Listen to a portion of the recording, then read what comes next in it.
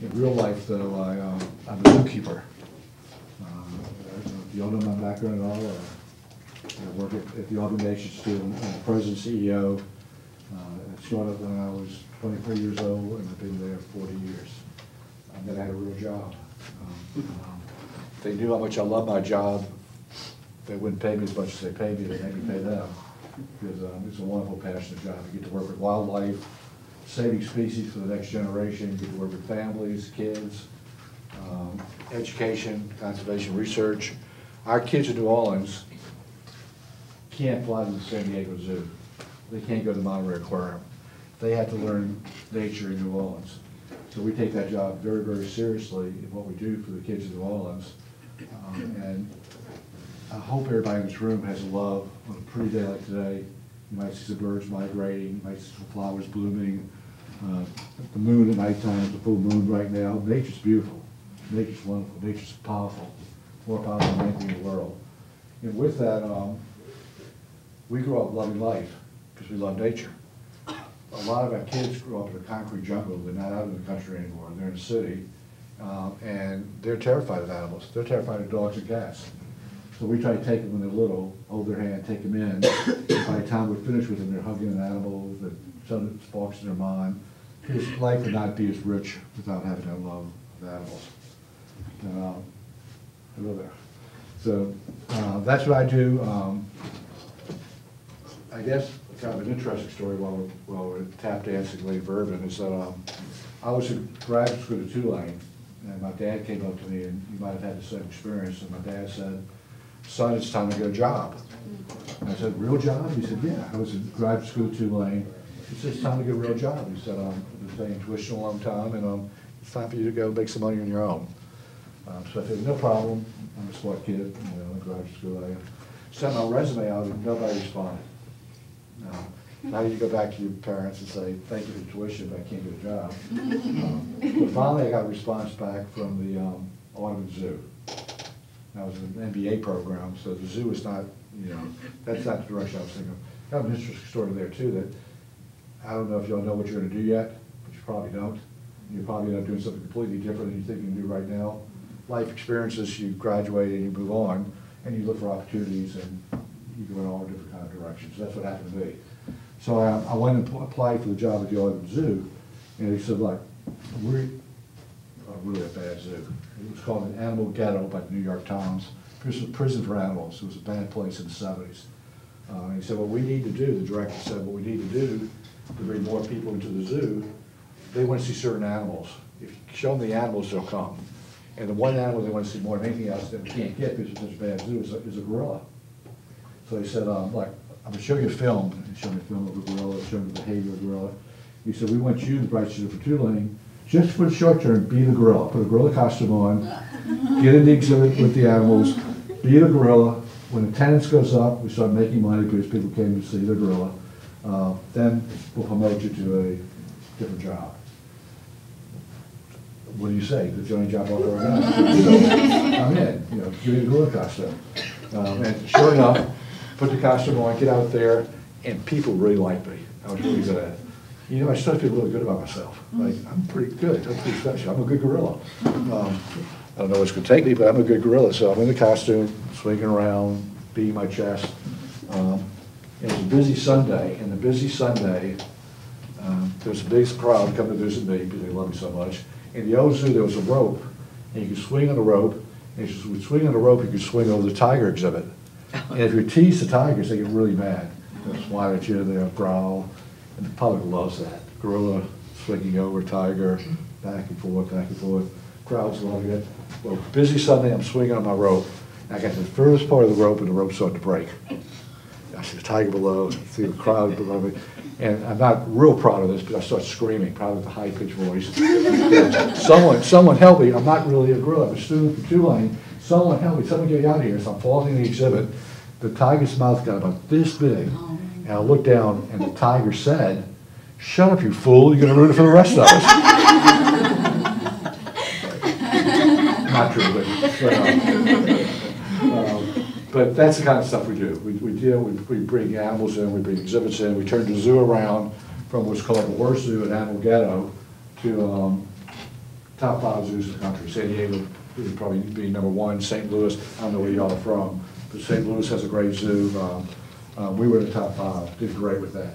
Um, With that, we um, decided in the um, 80s, that was in the 70s, in the 80s, uh, the economy in New Orleans was crashing. Oil and gas was leaving Louisiana and moving to Texas. Bad move. We really did not handle that well in the 80s. But with the loss of the oil and gas industry, they said we had to diversify our economy. We had to bring more jobs to our community, and the easiest picking fruit for jobs was tourism. The more tourists you bring in, that means more hotels. It's like a manufacturer plant with hotels. You put people in the rooms, they'll shop in the restaurants, they will shop in, in the department stores, they'll go to Irvin Mayfield's Jazz Club, they'll go to the Audubon, they'll spend money. So with that in mind, we said, let's build an aquarium. Um, and the aquarium, uh, was modeled after the Monterey Aquarium in California, the National Aquarium in Baltimore. We said, let's build, let's build a, um, world-class aquarium. And we had to go to the voters in New Orleans to get a tax millage passed to say, here's part of the money, and you have to match it with private money to go build the premier aquarium in the country, if not the world, in the riverfront of New Orleans. As we were going to the voters, there was a tax millage for public education. Now, who could be against a tax millage for education, for kids? The bumper stickers came out and said, fish or kids? Make your choice. What do you think happened? Fish. Kids failed, thirty to seventy. Thirty percent voted for seventy against. When asked, why would you not be for kids? The answer was, we don't trust the school board, we don't trust the teachers, we don't trust the principals. If they're not gonna spend the money we give them wisely, until they get their act together, we're not gonna throw more money down the drain. That was the comment. Thirty days later, to the same voters, we passed last seventy-two twenty-eight. Same voters said 30, 70, no to kids, 72 to 28 to us in favor. We Asked why, they said, because you did a great job with the zoo. You spent the money wisely. We trust you.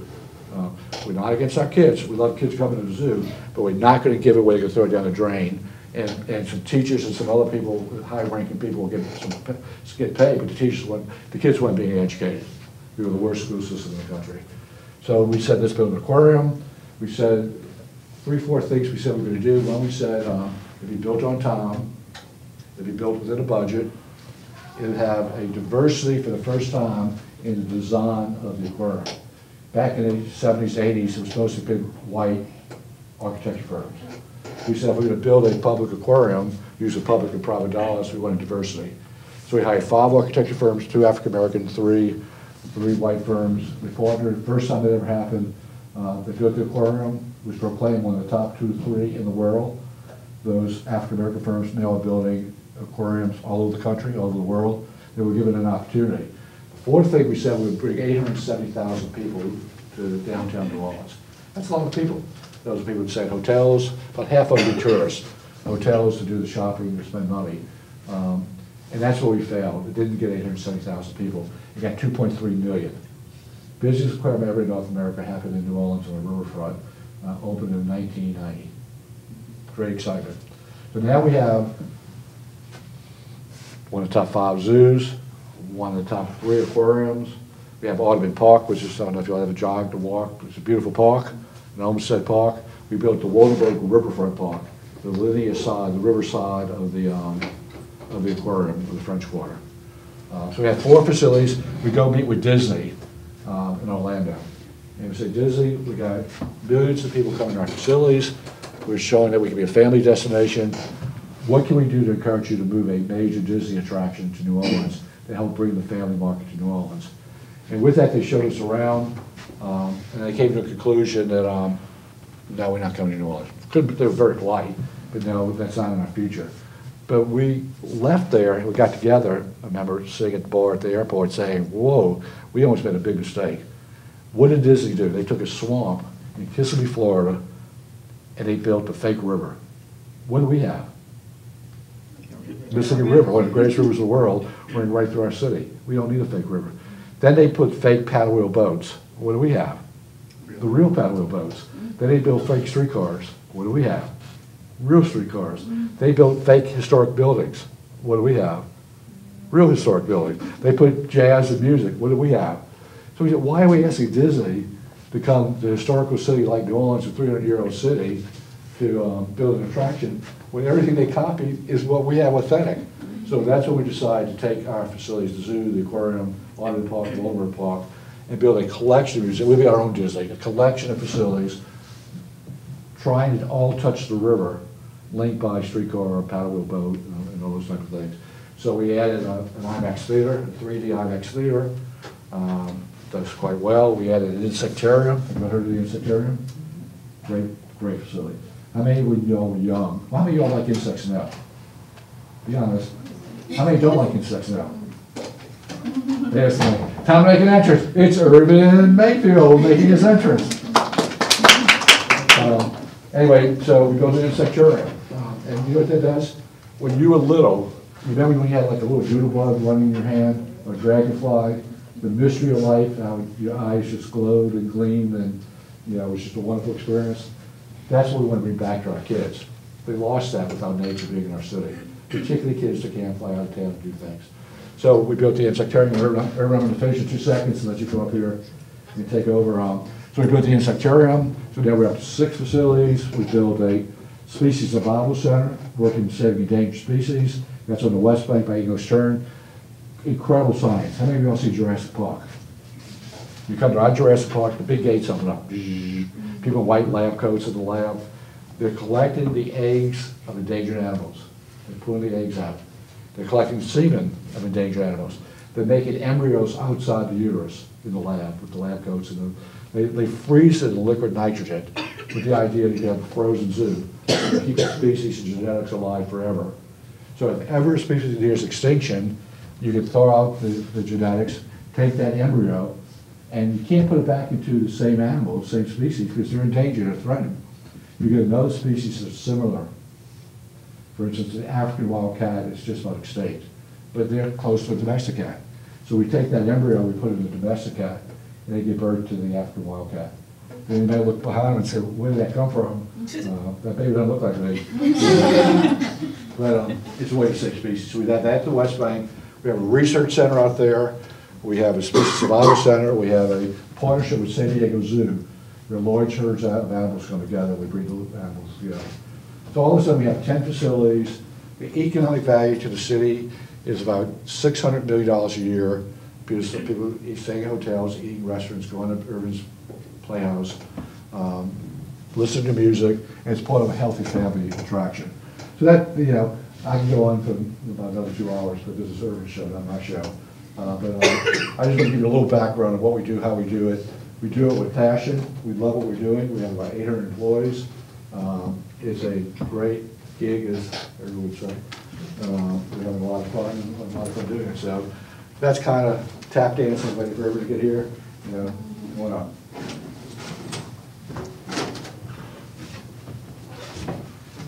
Mr. Chairman. Ron, applause for Ron Forman. Right code or no code, or? Oh, you look good, just like Good, that. good way, I'm gonna teach you your code. So I heard you talking a little bit about the Audubon uh, experiences. Can you tell them a little bit about the other organizations that you're involved with from a volunteer standpoint? Any special one you want to talk about? I think the Superdome Commission would be really interesting. Okay, I thought you were talking about NoJo first. I want to get to that also. Okay. Um, Well, first, first, um, I'm fortunate the governor appointed me chairman of the Superdome. It's called the LSED. Um, And um, that's an incredible job. There's seven of us appointed to the board. And um, I was fortunate enough, I've been doing it for seven years and I was chairman, uh, to negotiate the new Saints contract. Um, That was extremely exciting. I I assume no one's from the media here, is that correct? In the negotiations, um, Tom Benson, who's turned out to be a really good guy, um, but he's a car salesman, and um, he had his team negotiate the contract, and it's worth hundreds of millions of dollars. It's worth a lot of money. Had to do with real estate, had to do with long-term contracts, had to do with Champion Square and bringing concerts, uh, new state office building, uh, New Orleans Center got torn down and rebuilt. Um, But in the contract, we worked out the deal with our attorneys and their attorneys. Um, And we were just going to the governor's office to shake hands, say, everybody, congratulations. So we go to the governor's office, he's at the head of the table, Tom, his attorney and his team are on one side, I'm on the side with our team, it was supposed to be just shaking hands, and just as we were saying congratulations, Tom, the car salesman, said, um, Bobby, I just have one thing I want. You just want to trade up one more time, um, and after we made the deal. And he said, I need more money on the naming rights. You know, instead of splitting 50-50, I need 60-40, and, you know, and, and the naming rights, the Mercedes Superdome, it was worth a lot of money, but when you split it by the extra 10%, it was worth a couple million dollars a year. It's a lot of money. For 15 years, could be worth 30, 40 million dollars. But without us thi- thinking for a second, the governor said, um, you know, Tom, I'm glad you shared that with me. Because one thing I want. And he gave something, and he threw on the table, there was something worth about $6 million a year for 15 years, or $90 million. So we knew, and his team knew, that Tom was getting something worth 40 million, but he was giving up something worth 90 million. 50 million dollars in a conversation. You know, whether you want windshields or fancy, you know, lights in your car, 50 million dollars, and, and the governor says, "Tom, I'm going to give you what we have a deal." And he puts his hand in front of Tom, and his whole team was squirming. And the team knew, all the attorneys, all the Ken knew. Tom's looking at him, and it seemed like forever there was a pause. And the governor, without pausing for a second, said, Tom, do we have a deal? Tom shook his hand, shook his hand. We all, they walked out, and, and the governor goes, same, to say, fifty million dollars just by um, negotiating a deal. The other part of that, we got to negotiate the um, Hornets contract. Uh, the Hornets, um, the owner had a problem. Um, there were three potential buyers, all of them not guaranteed to keep it in New Orleans. So in that negotiations, we had to go back, and um, the one with the deepest pockets was um, Tom Benson. We went to Tom and said, Tom, the governor called him, and said, Tom, why don't you look at buying the um, Hornets? So as you know, the history is he bought the Hornets. The, now the Pelicans um, got, got great players. He invested a lot of money in the team, a lot of money in the coaching. They signed a 15-year contract. We rebuilt the Superdome for 400 million. We're rebuilding the arena right now for 80 million. There's Champion Square about 50 million. Um, and what it does is guarantees sports for Louisiana for the next 15 years. And we are, other than Dallas, and we compete evenly with Dallas, we're the leaders of the country. We get more Super Bowls than anybody else, more Final Four basketball tournaments, more um, NBA All Star games, more um, BCS championship. We get more sports, and Dallas spent a billion and a half dollars on the Dallas Stadium. With all the new stuff, our stadium is a better stadium.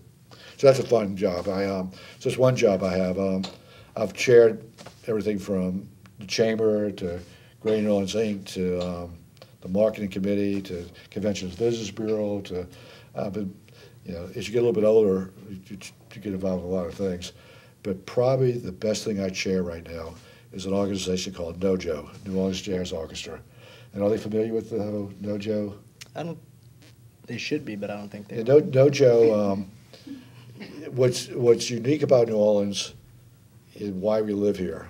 Uh, most of us, particularly once you get your college education, you can go anywhere you want. New Orleans is different than any place else. First of all, it's almost 300 years, will be 300 years old in 2018. One of the oldest cities in the country. Um, it's the last European city left in our United States.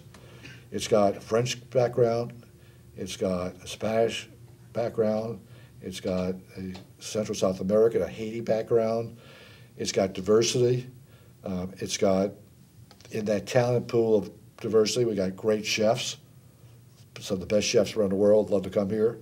We have the greatest artists, creativity likes to be here. Um, the architecture is unique. Uh, we're we got every season there's whether it's Jazz Fest or Mardi Gras or Super Bowls or this or there's always something going on. We're a fun, quality city to live in, and one of the things in history that makes us so great is our music. It's jazz. So this guy at a young age um, picked up a trumpet and um, plays his music and does a great job representing music. But as we were doing that, the tourist industry said, well, we don't have enough of it. Um, 20 years ago, you said, where can I go hear jazz? Uh, you couldn't. Um, so we had to get young people to get involved, to be business minded and getting involved. And Irvin came up with some ideas and started some incredible clubs, started some recording studios, uh, became iconic in the uh, music industry. While doing that, though, he said, I want kids to learn. We got to keep this generational. If we do it just now, even though he's young, and he doesn't pass it on to the next generation, then, then it'll die. So the whole idea behind it is how do you bring young people, how do you give them an opportunity to blow a horn or play a drum or, or, or get into music or write music. And um, so with that, a organization became New Orleans Jazz Orchestra. Um, Irvin, I don't know if you'll run um, Welcome yet. Just a great business guy, piano player. Um, and um, they do good music, but they do good business now. And with that, we said that we needed a permanent home for jazz in New Orleans. And so with that, um, and this is not a real large organization at the time, uh, but needed to raise over $10 million to build a um, center for jazz.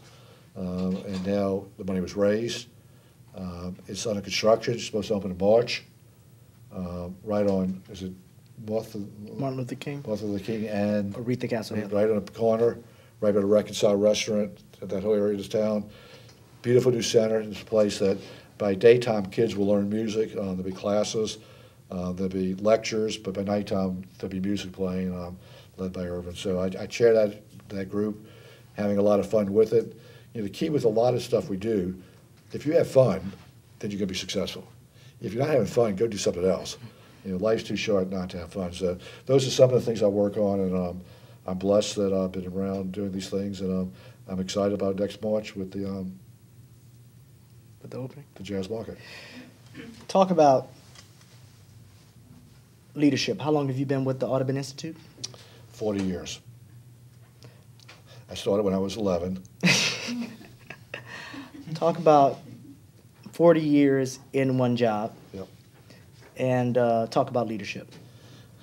First of all, you know, if you had asked me when I was 24 years old um, what I'd be doing the rest of my life, I would have never come up with the word running, running a zoo. Um, I was um, in the military during the Vietnam War. Fortunately, I didn't have to go to war, but I was in the war, drafted in the Army then. Um, I got out, I was in graduate school, and um, Mayor Landrieu, Moon Landrieu, Mitch's dad, uh, was the mayor, very dynamic like Mitch, came to the um, MBA school and much like this, gave a lecture, and talked about uh, working for the city much like the Peace Corps. Give a couple years to the city to help make it better, and what you would get out of it was, first of all, you'd see your city grow and be enriched, but you'd meet a lot of people who have be a great experience. Um, and so, um, being a hippie back then, and long hair and skinny, and you know, loving peace and love, and you know, trying to make the world a better place, I took the job. I got assigned to the zoo, and the question was, do we tear it down because it was so bad, or do we fix it up? Well, that was an easy answer for a 24-year-old. Um, uh, size pretty women running around baby strollers and um, um, um, and all the good things that went with it. Families and kids went back to the mayor, and he got behind rebuilding the zoo. Um, so I've been doing it 40 years, and and and I shared with the class earlier that that um, I get paid nicely for a job. I get a nice pay, but if people really knew how much I love the job, they would ask me to pay them. Um, so it's a it's a great opportunity, and um, with that, you you're placed in a place. It's almost like um, riding a bike. You know, when you're little, you get on a bike, it terrifies you. I'm not, you know, I'm going to fall, blah, blah.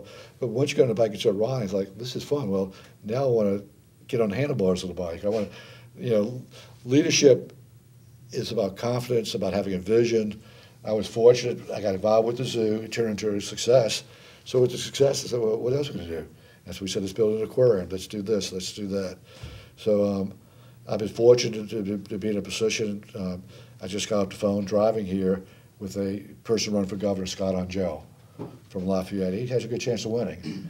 But now, if you don't call me and hug an animal, don't expect to be governor, don't expect to be a U.S. senator, don't expect to be mayor, uh, because we got hundreds of thousands of people to support us. And that leadership came over the years, step by step. And I think it's, you know, one success leads to the other. Who would you say was your greatest influence in terms of being a uh, mentor? That's a good question. I would, would probably start off with Moon Landrieu. Uh, Moon, Moon was a dynamic mayor. He was that close to being president. As mayor of New Orleans, he um, did great things, particularly um, in bringing the community together, black and white. It was, it was, a very fragile time, and he was a leader. And um, he took the heat he had to take to do it on both sides of the fence, and it brought people together. Uh, when he did that, he was asked by, he was the president? He was asked to be, um, I guess it must have been Carter. He was asked to be um, Secretary of HUD. Uh, so he took over HUD, uh, and that's when New York was going through a bankruptcy. He handled the bankruptcy for New York, and New York's so powerful with so many people, and he did such a good job, his name began surfacing as a Democratic nominee for uh, president. Usually, you- at that point, you're in a group like maybe 10 names. So, I mean, you, in this whole country to be in top 10 names being talked about, obviously he didn't, he didn't get the nomination and didn't win, but um, he was an incredible leader. And Mitch is the same way. I predict that that if you wanted to bet a dollar and win hundred dollars, that um, Mitch may be president one day. Mitch is a um, same dynamic. Um, don't always agree with him. He's got a head like this wall, but um, but he's good. He's very very talented. And if you look at what brings presidents to success, besides is their past success, is their ability to communicate. And if you look at, um, I guess going back to, to Reagan, uh, he was just a great communicator. You go back to Clinton, he was a great communicator. Obama, um, our own governor Bobby Jindal, who I love dearly, don't always agree with his politics also, uh, but you remember he, he probably uh, too young, but um, he gave a speech when, when um, the president got elected, spoke to the House for the first time. It was a cheerleading out, you know, everybody cheered, standing ovations. It was the first speech to Congress. And uh, Bobby was asked to do the rebuttal speech for the Republican Party, and he did a terrible job. So now he wants to be president. You got to be able to get in front of the camera. Be, so I think I think Moon is probably um, one of those people. Um, I'm gonna give another name you probably won't know. Is a guy named uh, Marlin Perkins, and Marlin Perkins was a TV celebrity. Um, he talked about from Mutual Omaha, did um, animal shows, and um, while he would lecture about the animal, he would have Jim, his cohort, wrestle in the crocodile, and just rolling all over, and the crocodile's hitting with the tail, and Marlin's just, and the crocodile weighs, you know. Um, but the guy, I love it, he was director or CEO of the St. Louis Zoo. But he became very, very famous because of the wildlife show. Um, but he loved what he was doing, that was saving wildlife. So a combination of Moon, you know, about the city, the passion you can bring to the table, the leadership you bring to the table. Marlin Perkins, who became a celebrity but never forgot who he was, were two great role models. What would you say was your biggest? I mean, forty years is a long time to be in one position. Not at all. It's all relative. what would you say it was your biggest challenge uh, that you had to overcome in your job? I think I think as a young man, the biggest challenge was change. The city of New Orleans, um, which I just described as one of the best cities in the world, uh, used to be bigger in my young age. It Was bigger than Atlanta population, bigger than Dallas, bigger than Houston, bigger than Dallas. We were one of the biggest cities um, in the South, and all the other cities were passing us up particularly with job creation. So some of us, like Audubon, said, let's go for world class, let's do this, do that. A lot of people said, leave it alone. Change is not something we feel good about. You know, if we had the microphone and the water here and you moved it like this, those people go right back and I don't, I don't feel good about that. So we had to fight change. And so everything we did, everything we did, we had to go to the U.S. Supreme Court at the end of the day. They didn't want to expand the zoo. A lot of that had to do with black white, by the way. You know, th- there was part of the history that um, that we wanted to expand the zoo, bring more people, and the neighbors said, "Well, I don't know if we want more people." They didn't say black, but but you could read into into the message back in the '70s what they were saying. Um, so change is probably the hardest thing we had to do, um, and even as recently as in every project, all ten we've done, everyone went through a battle. Um, I had my window broken in my car. I had hate letters. We started a project. I had people who I knew well as I go jogging around the park look the other way.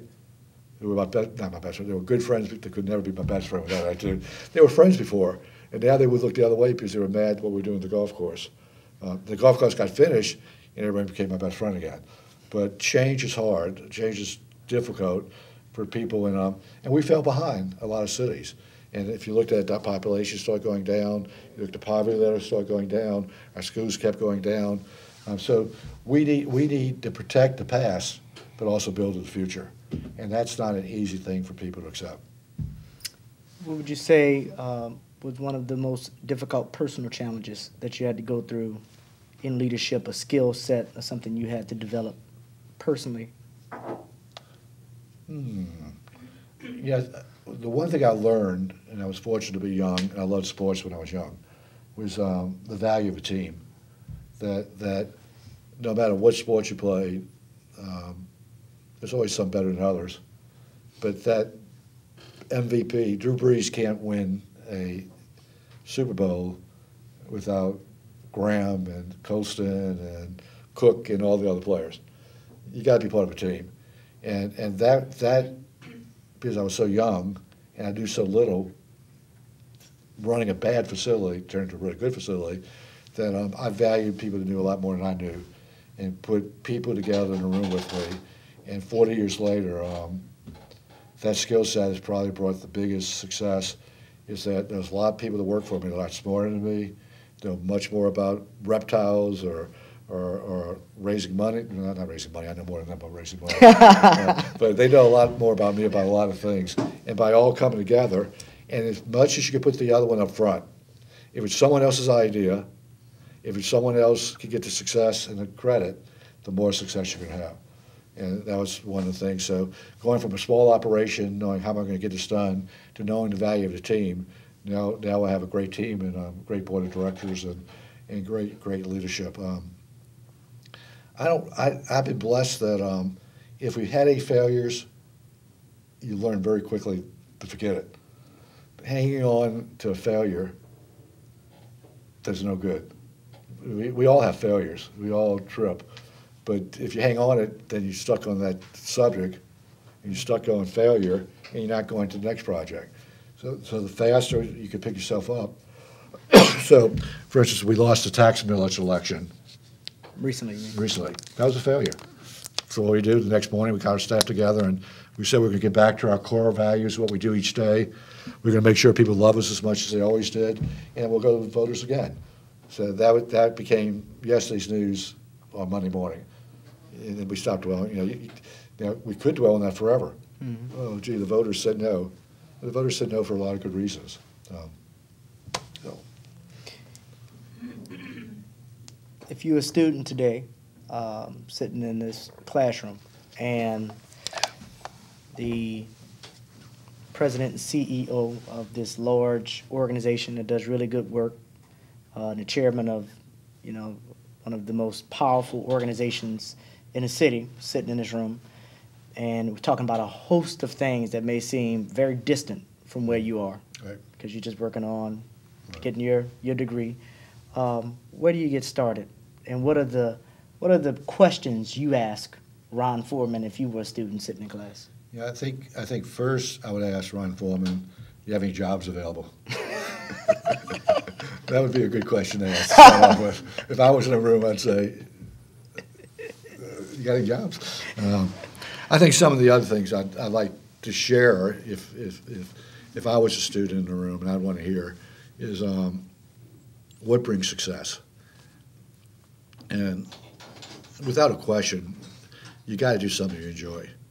If Irvin was not having fun playing a trumpet, he wouldn't be a terrible trumpet player. Find what it is that turns you on, that motivates you. Because a job should be fun. It should be something you can't wait to do each day. Not, oh, gee, I got to get up early, I got to do this, I got to do that. Now, you're going to have to do tasks along the way. I swept exhibits, I, I shoveled elephant poop, you know, I did all the stuff that, that um, but but the big picture was there. So you know, find find find the the career you want to do, and if you have to struggle with it a little bit, struggle with it, uh, um, and, and and go for it. Then I guess the second thing that would bring success is whatever you do, do it with passion. If you like it and you love it, then be pa- bring passion to the job. It's not, gee, my paycheck is this. It's it's um, I'm changing the world. I'm making a difference, and you can make a difference whether you're a nurse taking care of a sick person, or whether you're a groundskeeper that landscapes the grounds in a beautiful way, or you know the list goes on and on and on. So doing it with passion uh, is is critical to whatever you do. And um, I guess lastly, um, don't be shy about that passion. You know, share your feelings, share your thoughts. You know, I bet you everyone in this room has a, something unique about you that's different from the other person. And if you can share that uniqueness of the beauty you have in a passionate way, in doing what you enjoy doing, you're just going to keep going to the top, making a difference. And uh, it's not that that you know tough to learn. You know, if, I, I, my kids now, my my youngest is still in college, but um, you know the whole time they grew up, and my daughter now works for a conservation organization in New York. Um, she doesn't get paid much money. Um, she's just starting, but um, she loves her job, um, and you know so that, that, that makes a big difference. Um, did I answer your question? I think so. What is your favorite word? Favorite word is um, nature. What is your least favorite word? No. What turns you on creatively, spiritually, or emotionally? I, let me go to the, the all three are different answers. Okay. But the spiritual side, um, I love reading um, interpretations of whether whatever religion it is. I'm, I'm a um, personally a big supporter of religions that teach you know love and value and family and all that. They're all great, but I love reading the readings of people interpreting and. And it's amazing if you just take a little time, because I don't want to preach religion, but on just hearing some of those messages, you know, one message I was just reading, you know, tied to the millage. Lose the millage. I'm going through some readings, and, and there was a message, that whatever God you want to think it was from, saying um, worrying is a wasted energy. You know, if you worry about something, you're taking time you can't do anything about, um, and you're wasting time, and you're not going to change anything. Worrying has never changed anything and it, and they quoted some quotes from the Bible, you know, about, and it was just simple things, simple things in life that, that civilizations have lived with for a long time. That I love. There's little messages out there all the time. So I think on the religious side, um, I think spiritually also, my favorite thing, if I want to be close to God, is to hug a two, three, four hundred year old oak tree. Have you all ever hugged a tree? Cool stuff. If you haven't hugged a tree, the next time you see a beautiful tree, just get as close as you can, put your arms around it, put your face on it, look up, and you see all these tree branches. That tree's been there 400 years. We're 2014, 1614. What do you think that tree's seen in the 400 years? It's, you know, and it's still alive and flourishing. And I mean, so you know, you want to get you want to get spiritual and, and, and look at nature and, and embrace it and love it. And um, and you, you feel it. You can feel the power. Man, that tree is strong. I want to be like that tree. I want to be strong like that tree. And um, so, um, you know, nature and, and, and the love of um, nature and uh, the beauty of life and are all things that that, are, that kind of touch my heart. What turns you off? You know, interesting. What turns me off, I don't know if it's the worst thing that turns me off. I don't like big cocktail parties. I like parties. I like dinner with ten people, but not love listening to music. Okay. Music's different. But if I got if I got to hear someone say, "Hey man, how you doing?" You know, for the fiftieth time, and I can't hear them and they can't hear me when I tell them how I'm doing. You It's know, it, it, it's not my deal. Now, do I love plays? New York, just in New York, so a great play. Do I love music? I love performance. Great concert tonight at the Superdome. Um, I love I love those kind of things, but I, that pretending like you're in a conversation in a loud room, you know, and not hearing a word anyone's saying, and they, it, and it's not just because I'm getting older, because I remember, you know, going to concerts, uh, not con- bad word, going to events when I was younger. I couldn't hear then either, um, and my ears are fine. So I, I don't like I don't like um, I don't like meaningless conversation. It's a waste of time. What is your favorite curse word? I don't know any. favorite curse word? Favorite or least favorite? Or both? What is your favorite curse word? Darn. Come on, Ron. I guess I guess if, if it comes out, it's got to be the F word. it just flows naturally. you know. That would be, the- I, I don't have favorites. All right, I'm gonna let you go on that. on Okay, that. let me go that one. What is your favorite you. curse word? All right, what sound or noise do you love? I love a trumpet noise. There's nothing sweeter than a trumpet player getting the music. Is that a good answer? Yeah, I, actually, I do. I love, I love, I love jazz. I love the sound of jazz. I love, I love as it all comes together. I love the harmony of it. I love the um, sound of it. And then you put a voice behind it. Um, it just makes you want to move. Um, What sound or noise do you hate? Sound of noise that I hate. I hate when I try to fall asleep and I hear um, the alarm battery ticking and keeping me awake. I don't. It, uh, there's not many sounds I don't like, but you know, when I relax and, and want to chill out, I don't want to hear noise. Okay. I think there's too much noise in the world. What profession other than your own would you like to attempt? But you don't know this, but um, I don't want to keep kissing up to you, but um, I did play trumpet when I was in um, high school. Um, Are you serious? yeah, sure. it was called cornet then. had a little cornet, and I was a cornet player, and um, I was not very good.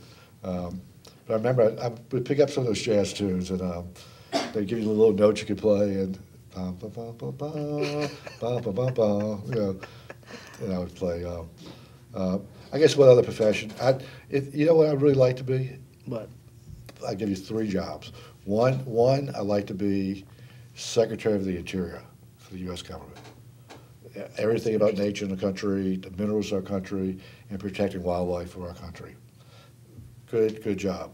The second job I like to be was when Eisner was the um, CEO of Disney. Being the CEO of Disney would be a job I would really like. And I, I, I was involved in designing one of the team that helped design uh, the Animal Kingdom at Disney. So there was an opportunity to be part of that team, um, but I wanted to be president of the team. Um, uh, I didn't quite get that offer either. Those two offers didn't, didn't happen. And, um, I guess the third, I'd like to be, um, I like to be a little bit better than um, Drew Brees, his quarterback for New Orleans Saints. And I think Drew Brees is the best. I want to be the very best quarterback. Sure, why not? You ask me, those are the things I want. No one's offered me anything. What profession would you like not to do? What profession I like not to do? I would like not to be a um, astronaut. The, the sending, sending me to the moon one way makes me a little nervous, and uh, I, I don't think I want to be an astronaut. Okay. If heaven exists, what would you like to hear God say when you arrive at the pearly gates? Well, heaven does exist. It exists in our life every single day. In my life, every day, I feel heaven. It's a taste of it. Again, it goes back when I see the birds flying, when I see a kid come and hugging me because a giraffe just got born, you know, and I see a fish, you know, doing something. When I see a flower bloom, you know, nature, heaven is beautiful. It's all around us right now, and I can't imagine how much better it's going to even be at the next level of heaven. Um, and I hope I'm asked to, um, to help keeping nature from not disappearing. More animals will become extinct in our lifetime than the history of man combined before us.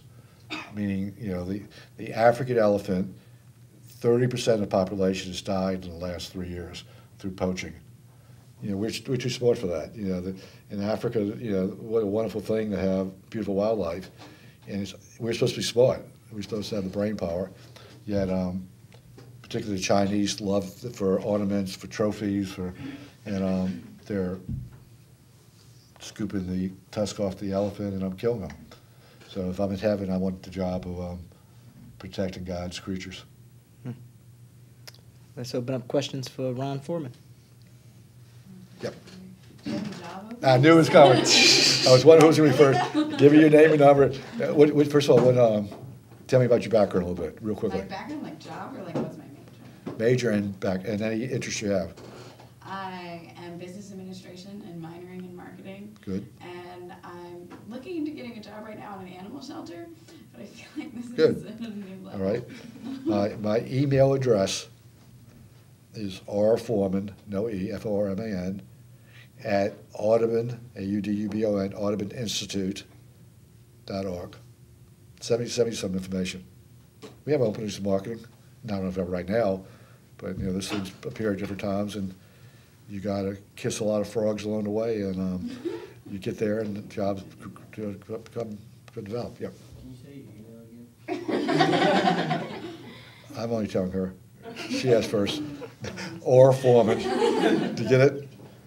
Or Forman, F-O-R-M-A-N, at Audubon, A-U-D-U-B-O-N, Institute dot org. Other questions? Yep.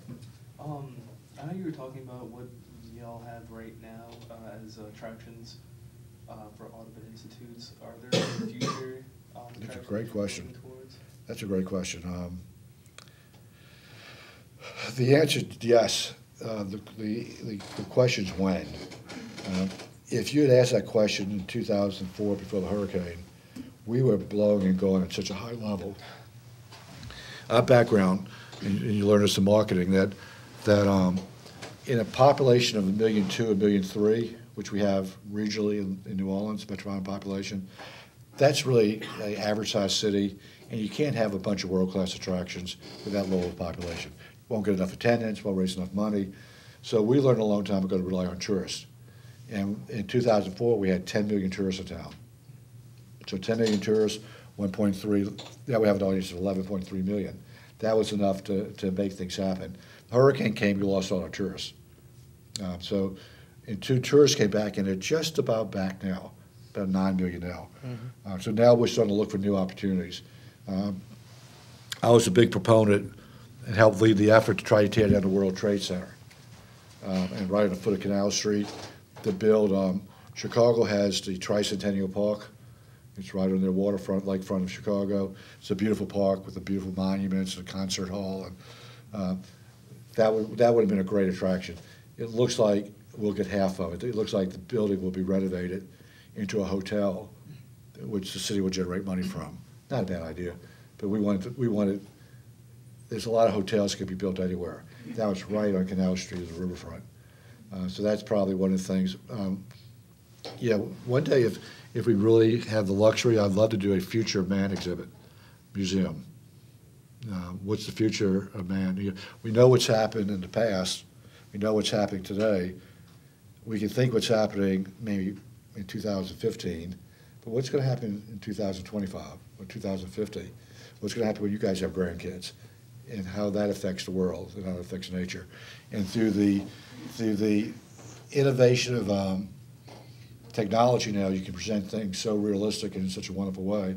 that I think that'd be really an interesting thing, showing the past through kind of natural history museums, the present, through zoos, insectariums, nature centers, IMAX theaters, survival centers, in the future from a Future Man Museum. Other questions? Yep.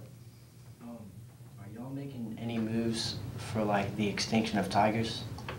Extinction of tigers, uh, every species is put into a program called, uh, you're not gonna believe what I'm gonna say, it's put into a program called ISIS. Inventory Species, International Species Inventory System. When you change that name. See, exactly. The other guy's gonna get wiped out, so they keep our name. Exactly. Um, So, and so every animal is on a computer now, and we know exactly, as best counts we have, what's in the wild, what's in captivity, and we know the genetics of each animal in captivity. So we don't crossbreed animals. And it used to be, animals used to be owned by each city or each zoo or each aquarium. Now, animals are blown to the next generation. So we send animals back and forth in breeding situations. And that's what I talked about, the species of Center, the frozen zoo is trying to save species. If, and if they start becoming extinct, we have a frozen zoo. Uh, we're working against San Diego, um, on the West Bank. They're putting large herds of animals together, trying to protect them. So the tiger is one of the animals um, in Asia and India that, um, that's um, in trouble. Um, and their reason for trouble is not for trophy collecting, it's more for habitat destruction. Um, and that's a tough battle. As, as people grow, populations grow, habitats disappear. As habitats disappear, the natural boundaries for an animal goes away and um, they disappear. Other thoughts, questions? Yeah. Uh, the Species Survival Center, like, is that something that just a general population can No. come visit, or? That's the one strictly the scientists. Okay. We bring some, we we have, we have two chairs endowed from UNO to work out there. Uh, There's some classes that come out. Uh, We work with Tulane, Xavier, LSU, UNO, uh, but the general public Okay. does not come out there. We have a beautiful lodge out there with the water where the animals come to. We use for fundraising and fun dinners and um, it may, one day, to my future projects, with our partnership with San Diego, five years from now, ten years from now, we might turn that into an animal park where you can actually learn how we're saving species and let the public come out there, but right now, I don't think I just know. Other question, I know you got a class of four, I'm sorry? your class ends at four? Oh, what time is class in? Yeah. Oh, we're good, we're good on time, but Hey, we're. when I was a class, Wrapping up. when I was in class, I always knew when it was time to get out. Yeah. Um, I heard you talking a lot about uh, politics and um, local and national. Uh, how involved would you say that you are in that, if at all, right now? Because you know, you seem to know a lot That's a about great it, question. like on the inside. You, have, Yeah, you you seem to have some inside questions. connections there. Let me, let me share the family story. Um, Ray Nagin was a very close friend of mine. Uh, He was my mayor. Uh, Happened to get elected, my wife went to work for him in communications, you know, when he first got elected. He, was- he was a good guy when he first got elected, and I believed in him, he was a good mayor. I was with him during the hurricane, at the Hyatt Hotel, I go make my rounds, I had three different pickup trucks stolen from me, because whenever I left my truck to go walk in the water to get to Hyatt, I come back the next day and someone hotwired and was gone, just to get out of town. Um, So he was my mayor, but after the hurricane, I think Ray Nagin went brain dead. I think uh, the crisis, seeing people dead on the street, people trying to hold can of babies, to take care of. uh, Some people, you know, he wasn't, a- he wasn't hired to do that job. He was hired to run a city, not to take on the worst crisis of the country. Um, And so um, with that, he wasn't doing his job. And, and I got mad at him. And after numerous conversations, um, I finally said, Mr. Mayor, you're no longer my mayor. You're not, you're not doing what you're supposed to do. And then um, I've been asked to run for mayor, I'm gonna run for mayor against you. So I ran for mayor. Uh, There was 23 of us. Um, At the time I ran, all the research said I'd be in a runoff with Ray Nagin. Um, And that's, that was the strategy. Raised $3 million in three days. People showed up with with $5,000 checks with the backs we could give, um, big, big wads of checks. Um, So I was off and running. Um, Politics is a strange bedfellow up, because I was encouraged to run by Mary Landrieu and Mitch Landrieu. We need, we need somebody to run against Ray. Um, So about three days before registration, Mitch called me, said, well, come meet with him? I said, sure. He said, uh, Ron, um, I thought about it, I'm running for mayor. And, um, and, and now I've known Mitch, now I started on the moon, so I've known Mitch for a long, long time, I've known Barry, but jet ski with Barry, I've traveled with him, and I know him well. Um, So I was kind of taken back. Um, I was taken back for two reasons. One was that, um, don't ask me to run. I got my neck stuck way out, I raised money from people, I spent money, and now you're saying you want, you want to run, you want me to step out. Um, And secondly, um, was that um, people put their money, and they gave me their money to run, I spent probably half a million of their money, uh, and just to back out um, was not gonna be an easy thing to do. And, um, and I guess, and I guess, um, lastly, um, the flag was on the ground. You got, you gotta just think about it for a second, and I'm sure you'll, some are here during it, but those who were in town right after, right during the hurricane, um, it was an abandoned city. Um, It was no streetlights, no water, no sewage, um, people on rooftops, devastation, dying people, mayor not doing his job. Um, So I really felt the flag was on the ground. And that the city's been really good to me for the last thirty-plus years. And, uh, and I love the city, so I, I grabbed the flag, I was running with the flag. And, you know, when you finally decide you can do it, and everybody gets behind you, and all of a sudden someone says, hand me the flag now, uh, uh, that was a tough thing. But the last thing, which is factual also, I couldn't beat Mitch. All the numbers said, of the twenty-three candidates, if Mitch is in a race, it'd be Ray Nagin and Mitch in a runoff, I'd be third. So with that, knowing I- that it'd be very difficult to beat him, and in politics, the only way you can win and stuff like that, is you gotta go on the attack. He's my friend. Like I said, I've known him since a young man, um, and they wanted me to go and attack on TV commercials saying, um, Mitch is soft on crime. And I said, well, show me how he's soft on crime. They showed me a bill he passed as state legislator, which was for like 15, 16-year-old boys, young men, that did minor crime, but, but um, had a choice to either go into some care, you know, facility, or could stay home, and be in a program. While they did it, they gave them the to, the chance to get their act together. I kind of liked the legislation. It was good legislation, and that's how you were supposed to be, not tough on crime, by help, by letting these kids not go to jail. Um, So how do you run against that? Anyway, I ran, but, but, but having none, never run before, politics is a, you gotta go for the juggler. If you don't go for the juggler, you can't knock the guy off in front of you. You can't knock the guy in front of you, you can't win. So I ran a race that was pretty, was, was not a race, we talked about doing things that, um, that, I really liked the race. I like being with people, but it's hard to run a race when you, when you, you know you can't win. And so that, I, I ran that race, came in third, uh, and had no interest in running again, and didn't have an interest before the hurricane in running. But, but it's back to that passion, back to that drive. And then um, I love the city, the city's been very, very good to my family, to myself. Um, I've lived here my whole life. um, And um, then uh, I knew I could make a difference. Now, having said that, I think Mitch, who lost to Ray, remember that? He lost to Ray. Ray goes into the underground and does a lot of bad things. Um, Mitch the next time, Mitch does a great job. So that's what really counts. So I, I, I've, I've been close to every governor, not every governor, every governor since um, Edwin Edwards.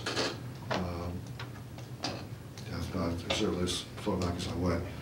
Edwin Edwards and the whole group I've been close to, I've been, my attitude with every governor, every mayor, I might not like their politics, it might not even like the person, but once they get elected, I re, I really respect the position. If you're president, you're my president. If you're governor, you're my governor. If you're mayor, you're my mayor. And what can I do to help? So I work, whoever that person is, to make them as successful as they can. And with that, Audubon's gotten a lot of money, a lot of support, but I've made a lot of good friends, and, you know, I've been fortunate to meet with presidents in the White House. I've been, you know, every governor, every mayor, um, we've been friends. And like I said, if you want to get elected to an office in Louisiana, or New Orleans, you better come see me and hug an animal, get your picture taken, because if you don't, you're not going to win election. Did that answer? uh, Yeah. Other thoughts, questions? All right, when you're coming to the zoo? I have another Go one for for it, go for it. Um, I, I feel like you know a lot about where the city's headed, Mm-hmm. um, based on your experiences of the past. If you were in school now, where would you choose to major? Where do you see jobs coming Yeah. For the future? Yeah, this guy. I regret not asking that to everybody who's Yeah. been here, because everybody who's brought in, uh, they're so, they know everything about the city. Yeah. Some of them said like oil and, you know, getting chemistry jobs. I mean, uh, majors is good, but I want your take on it. Yeah, let let me first to tell you a little bit about my opinion about New Orleans. New Orleans, is a 300-year-old city, I tell you, the first 100, 150 years, one of the biggest cities in the country. After that, another 50 years, 75 years, the biggest city in the South. Last 75 years, decline, decline, decline, decline, decline. We're going up again. First time, in my opinion, watching the economic growth, opportunities for young people, um, job creation, economic development, uh, housing, values going way up. Um, The city's on a road. New hospitals are being built. UMC, the, the, um, the um, VA hospital, could create tens of thousands of jobs. Um, So if you like anything in medical, medical strong. Anything supporting not just doctors, but anything in, the- in the medical technology field, type of medicine, strong, strong, strong. Um, If you're in the arts field, we have more theaters now than ever been renovated. Um, Most doing well. Um, So if you're in the arts, uh, everything from marketing the arts to being a performer, to owning the theater, to, to, um, you know, sales, whatever, is doing well. Tourism, and, and tourism sometimes gets a bad rap. I chaired the, the Convention Business Bureau. Gets a bad rap. Um, man, those are just housekeeping jobs. Of the, of the eighty thousand jobs in tourism, yeah, there's probably a couple thousand in housekeeping. Um, But not that you should get your degree and work to be a waiter, but waiters make a hundred thousand a year, eighty thousand a year. If you're good and sharp, and you, you know, you- there's big opportunities. Then back to marketing and advertising and promotion and business and sales and, you know, the hotel industry is a, is a major, major growing. Uh, the Port of New Orleans, um, dealing with, um, merchandise coming in and out. If you have the ability to figure out how to manufacture anything, the ability to, um, to get shipment to and from places is right here. Uh, Take a product and improve it, and then sell, send it out, bring it in as a raw product, turn it into something else, send it out, um, uh, through the port is a, um, is, is a, um, is a big opportunity. Uh, The Idea of Village, I don't know if you follow that at all, but the Idea of Village is about um, starting new businesses.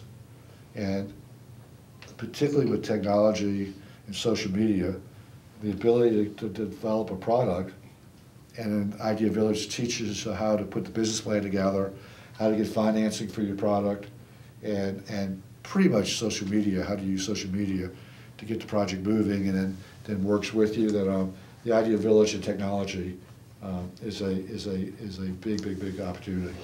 So, um, and another thing is government. You know, I don't wanna rule out government, government, you know, for those that have a love for city planning, for urban planning, for, um, for politics, for, um, for, um, running a streets department, engineering, or traffic, you know, the- but I think the biggest message I'd send to someone young is that, um, New Orleans is a city of opportunity. Um, and network, you know, communicate your, your skills. Um, Like I said, you gotta kiss a lot of frogs along the way and, uh, meet a lot of people, but there's a plenty of opportunity. And I think it's gonna continue to grow, um, in our community. All new schools are being, public schools are being built. Um, I think it's a great city. I think the city is doing well. Um, And what I love why I'm here is because the city has soul as well as opportunity. Uh, Before we had soul with no opportunity, uh, opportunities back again. And it's younger people. We have more young people moving to New Orleans. New Orleans is the place to move to. The, the cities that I think are doing the best right now is Washington DC, New Orleans, um, else I hear, um, where they have old cities and they're taking the inner cities and redeveloping them uh, for opportunities. Uh, Because you can walk to work, uh, you can ride your bike to work, you can take public transportation. It used to be suburbs, suburbs, the Republicans all said, your dream house is big lawn with a white fence, living in the suburbs. Those people in the suburbs got tired of driving two hours to their white fence each morning and each afternoon. Everybody wants to get in the inner city. The downtown, the warehouse district is hot. The Marigny Bywater neighborhood is hot. So for young people, this is a great city. Uh, And, and it won't be, you know, right now, it's probably more difficult than I've ever known for someone to get a job right away. But if you look and work hard enough, you'll get that job. And this is the place, it's a great place to have the job and a great place to live. Let's thank our guest, Ron Forman. Enjoy. So when y'all come coming, who needs passes? Okay. Be serious. Give me,